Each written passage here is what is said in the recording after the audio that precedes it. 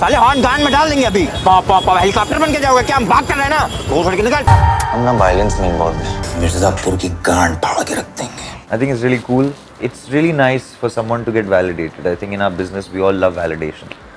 No matter how humble and how arty and how whatever you become, we all love validation. I think it's nice that you're doing it.